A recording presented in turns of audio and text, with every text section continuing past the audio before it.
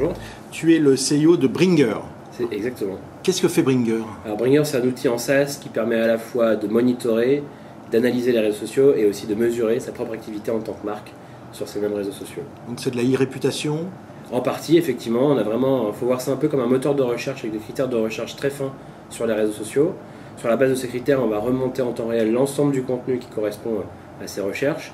Et tout ce contenu-là, on va l'analyser en temps réel, à la fois de façon quantitative et qualitative, pour sortir des indicateurs clés qui permettent de bien comprendre ce que les internautes disent de sa marque, de ses produits, de ses concurrents, de son secteur d'activité, etc. Ça, c'est ce qu'on faisait euh, ces derniers mois depuis le lancement en février. Et en plus, maintenant, Bringer permet aussi de mesurer sa propre activité en tant que marque sur ses réseaux pour savoir si la stratégie qu'on a mise en place porte ses fruits, si l'engagement avec les, les fans ou les followers est de bonne qualité, etc. etc. Alors comment ça se matérialise? En fait, on met des mots-clés, on définit des thématiques et euh, il y a des alertes qui remontent euh, en temps réel Exactement. La base, effectivement, c'est le mot-clé. Après, il y a des critères de recherche qui sont beaucoup plus fins. On peut dire, par exemple, quand ça vient de Twitter, il faut qu'il y ait un nombre minimum de followers, sinon on ne reçoit pas le message. Quand ça vient euh, de Tumblr, il faut qu'il y ait eu un nombre de likes sur l'article. Enfin, voilà, on a des critères qui sont spécifiques à chacun de nos réseaux à chaque fois qu'un message correspond à un de ces critères, on le reçoit et il est pris en compte dans notre analyse et tout ça est fait effectivement en temps réel, même si évidemment on peut remonter dans le temps, euh, voir ce qui s'est passé à un jour précis euh, jusqu'à un degré de 5 minutes. Donc on a vraiment un outil euh, très très précis pour bien comprendre ce que les internautes ont dit à propos de, encore une fois, de notre marque, de nos concurrents, de nos produits, etc. Alors si on prend un exemple qui s'est passé récemment, PSG champion de la Ligue. Il s'est passé en fait plein de choses, il paraît, sur, sur les réseaux sociaux qui auraient pu annoncer ce qui allait se passer. Est-ce que Bringer peut être utile à ce moment-là. Oui, clairement, nous on voit ces tendances-là arriver dans l'outil, on voit euh, les leaders d'opinion dont les messages sont beaucoup repris, on voit quels sont les contenus de ces messages, on voit, on a de l'analyse sentimentale, donc on va voir aussi les messages négatifs se détacher, et puis on peut aller lire. Très concrètement, quand on voit un pic de messages à un moment de la journée, on va aller pouvoir lire les messages importants qui étaient publiés à ce moment-là, et donc permettre de bien comprendre encore une fois euh, ce qui est dit et de détecter ce genre de tendance. On le voit sur un événement euh, comme, euh, comme le PSG, mais on le voit aussi, et c'est parfois un peu plus classique, on entend également parler, c'est toutes les émissions de télé voilà, où on est capable de dire bah, voilà, telle personne va gagner. le concours de chant, etc. Enfin, ça, c'est des données effectivement qui ressortent dans Bringer.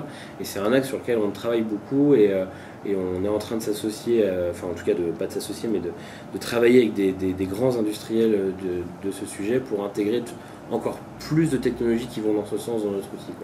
C'est-à-dire c'est de l'analyse, mais on est un peu dans du prédictif. Exactement, c'est clairement du prédictif et de pouvoir dire euh, euh, la veille, deux jours ou trois jours avant, voilà ce qui va se passer sur un événement, voilà ce qui, voilà l'impact de la sortie d'un film, voilà, enfin voilà ce genre de choses qui sont aujourd'hui plutôt demandé par nos clients et c'est des sujets sur lesquels on travaille beaucoup. Alors tu parles de films, d'événements, on est dans le culturel plutôt.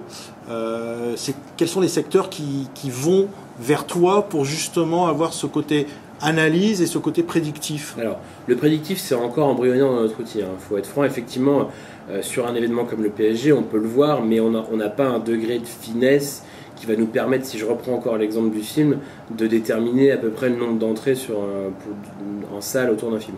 C'est des sujets sur lesquels on travaille, mais qu'on n'a pas encore dans l'outil aujourd'hui. Par contre, le reste, euh, qui vient chercher le reste aujourd'hui C'est euh, d'abord les agences de web marketing, de communication, de relations presse, de community management, les marques, qu'elles soient petites, petites PME ou, euh, ou des grands comptes, qui internalisent ces questions liées aux réseaux sociaux. Et puis aussi, dans une moindre mesure, mais c'est un sujet qui nous intéresse quand même beaucoup, c'est les collectivités territoriales qui ont envie de savoir ce qui se dit autour d'un service public, euh, d'un élu, d'un événement, etc. Et qui du coup utilisent Bringer pour savoir ça aussi. Et puis le nouvel axe qu'on est en train d'intégrer dans l'application de mesure de l'impact, on pense aussi que ça va nous ouvrir des champs euh, encore un peu différents, vraiment des gens qui sont très actifs, des community managers, etc. et qui veulent aussi pouvoir mesurer très concrètement l'impact de leur activité. Quoi. Alors, on est au Web Today, écosystème nantais, et tu es dans cet écosystème puisque tu es nantais, ou en tout cas c'est aujourd'hui là où, tu vis. Euh, comment euh, se, matérialise cet écosystème? Comment tu pourrais décrire sa dynamique? Est-ce que ça t'apporte? Est-ce que toi tu, peux apporter à l'écosystème? Alors la particularité, moi je trouve, de l'écosystème nantais, c'est euh, sa volonté d'avancer ensemble.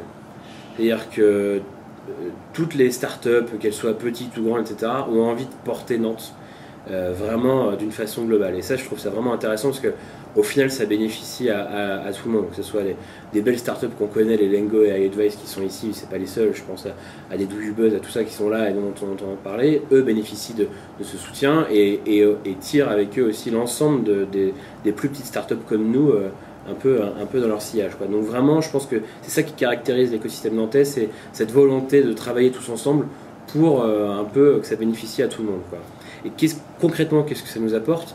Et ben, c'est que ça nous fait gagner euh, beaucoup de temps parce que euh, on se rencontre tout le temps, on travaille ensemble, on nous présente les bonnes personnes. Quand on cherche une compétence particulière, euh, bah, tout de suite on est redirigé vers la bonne personne. Je pense que le lieu qui symbolise ça, c'est la cantine numérique à Nantes où il y a plus de 200 événements par an. C'est eux qui organisent le Web Today aussi aujourd'hui. Et c'est vraiment eux, un peu les chefs d'orchestre qui, bah, qui font que tous ces gens se croisent, se rencontrent, discutent.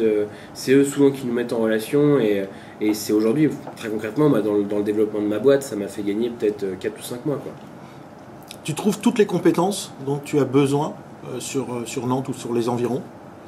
On trouve la plupart des compétences et quand on ne trouve pas les compétences ici, c'est pas difficile de faire venir les gens à Nantes. Parce que c'est une ville qui est très attirante, avec un cadre de vie vraiment euh, génial. Je pense que tu as pu t'en rendre compte aussi sur l'événement, enfin, le lieu est vraiment top et c'est vrai un peu partout dans toute la ville. Euh, les loyers sont pas chers, en même temps les salaires euh, sont intéressants. On est à deux heures en train de Paris, donc moi je dis souvent que c'est la banlieue de Paris et qu'on est parfois plus vite arrivé dans le centre que des gens qui habitent réellement dans la banlieue de Paris. Donc, donc vraiment, il y a un peu tous les éléments qui sont réunis pour que pour que ce soit facile de faire venir des gens qui parfois ont un peu envie de changer de vie, de déconnecter de la vie parisienne par exemple, et, à Nantes ils vont retrouver euh, un peu le meilleur des deux mondes. Et tu as des gens qui viennent naturellement sur, euh, sur Nantes pour s'installer, pour euh, développer leur entreprise et bénéficier de cet écosystème? Moi j'en croise tous les mois des gens qui me disent je viens d'arriver à Nantes, je découvre, et là effectivement ils, viennent, ils poussent la porte de la cantine, ils trouvent un, accueil qui est fait pour ça quasiment et, et, ils peuvent participer à des événements, ils sont mis en relation très rapidement avec les bonnes personnes et, pour moi, c'est clé. L'ouverture de ce lieu à Nantes, ça a été clé. Et, vraiment, tous les événements qui tournent autour de ça, je pense que c'est vraiment important. Et moi, j'étais dans l'écosystème euh, où, je, en tout cas, je travaillais un peu autour avant même l'ouverture de la cantine, il y a déjà quelques années. Et on a senti un vrai virage. Et moi, quand je suis passé dans à la phase création de ma start-up aussi, je me suis rendu compte très concrètement de, de l'importance et de l'impact que ça pouvait avoir sur nous, mais de façon très très concrète. Quoi. Merci beaucoup Simon. Et merci à toi.